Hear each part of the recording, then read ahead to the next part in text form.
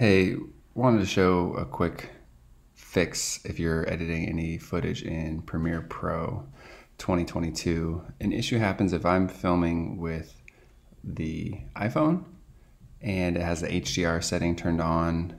Basically, what ends up happening is that there's a color profile that is trying to render the HDR, but it's blowing it out. I mean, you can see how how blown out this um, footage is right now.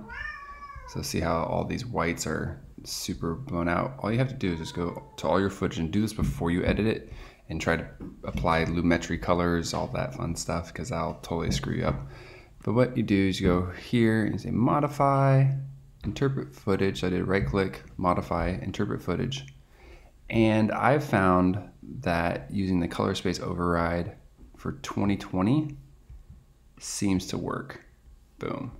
So now this was already overly exposed outside because we are shooting interior and it's very bright. So that's that's normal. I'm expecting to see that. But you can see the difference. So like Command Z, Command Shift Z. So now I'm getting more accurate um, skin tones and colors from what I filmed. You can play around with it, choose different profiles.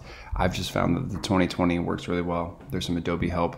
Um, support on their forums, so you can check that out for more detail. And there's some amazing posts that someone did around all the details going into color uh, grading and correction and everything. So definitely check that out.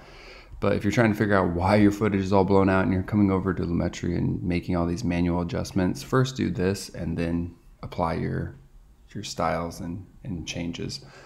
Hopefully that helps.